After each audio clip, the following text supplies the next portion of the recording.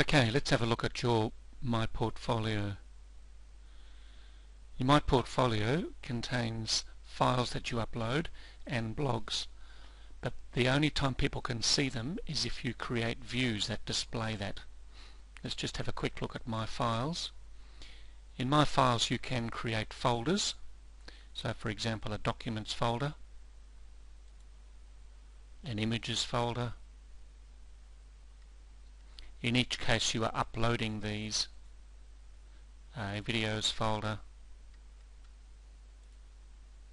and a folder for web pages that have been designed in HTML.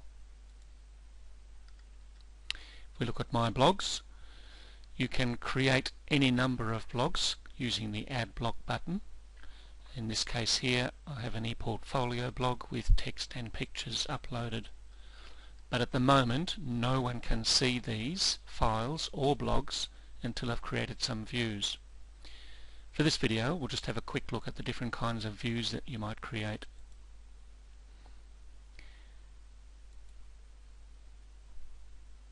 This is a two-column view which shows a blog on the uh, left hand side and some photos down the right hand side you notice the left hand column is slightly wider than the right hand column.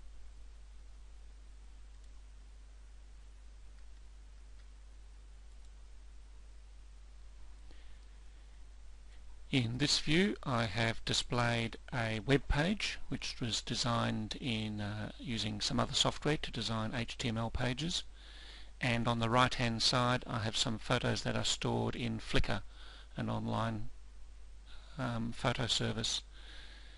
The next section I have posts that I've made on Twitter, a microblogging service which is on the net. And then I've chosen to list my friends in the ePortfolio.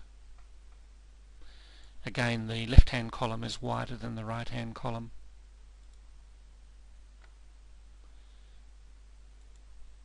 And the final view I'll show, this one has three columns on the left hand side I've displayed some uh, posts in a blog, just the titles, and underneath that the comments that people have made on that. Here I've displayed a video which just takes a little while to download. While that's downloading on the right hand side I have some pictures.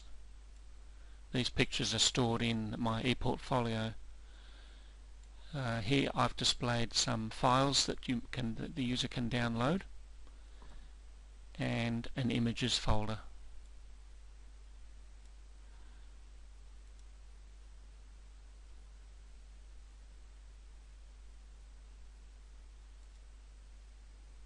And just waiting for that video to load.